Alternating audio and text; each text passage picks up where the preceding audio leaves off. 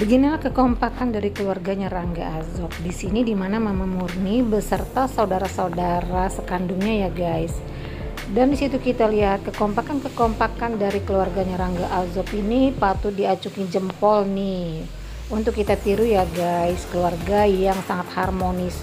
Di antara keluarga-keluarga Rangga Azob ini semuanya terdapat beberapa saudara dari Mama Murni. Dan di sini lagi pada ngumpul nih ya guys. Dan salah satunya yaitu adalah Tante Usmawarni yang di situ ikut bergabung dengan Mama Murni di kediaman Rangga Azob. Nah bisa jadi ini ya guys bahwa mereka sedang berkumpul sambil menunggu kedatangan dari Haiko Panderteken dan setelah itu setelah Heiko Panderveken datang di kediaman Rangga Azob bisa jadi nih Heiko Panderveken langsung bergabung nih dengan keluarganya dari Rangga Azob yaitu di sini ada tante-tantenya dari Rangga Azob itu sendiri. Dan kekompakan-kekompakan dari keluarganya Rangga Azob ini itulah yang membuat Heiko Panderveken sangat kagum ya guys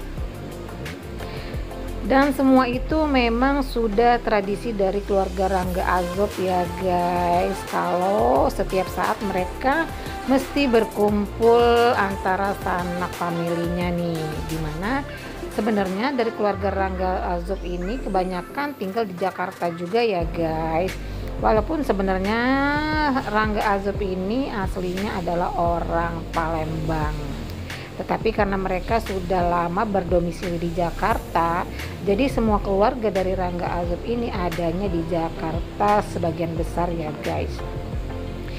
Dan di situ juga agar makin dekat aja nih sama Haiko Panderpeken ya guys.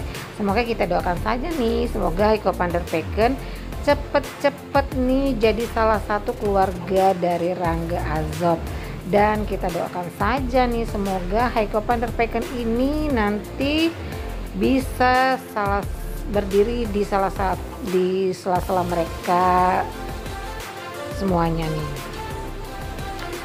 Dan di kediaman Rangga Azab ini di sinilah semua keluarga sering berkumpul ya guys dan semoga saja ini perkumpulan mereka ini merencanakan sesuatu nih untuk Rangga Azob dan Haiko Panderpeken ya guys.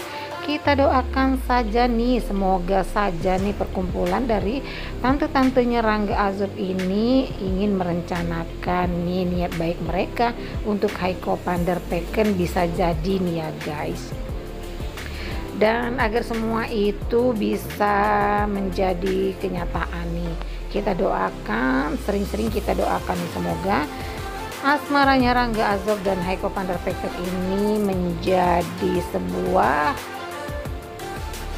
ikatan pernikahan yaitu di mana terjadi kebersamaan-kebersamaan antara keluarga Rangga Azob dan Haiko Panderpeken apalagi nih kalau misalnya di antara keluarga Rangga Azob dan keluarganya Haiko Panderpeken bergabung. Wah kayaknya ini makin seru ya guys. Dan kita doakan saja lah semoga saja nih Haiko Panderpeken dan Rangga Azob segera menuju ke pelaminan. Amin amin ya robbal alamin. Nah oke okay guys. Di sini ucapkan terima kasih. Wassalamualaikum warahmatullahi wabarakatuh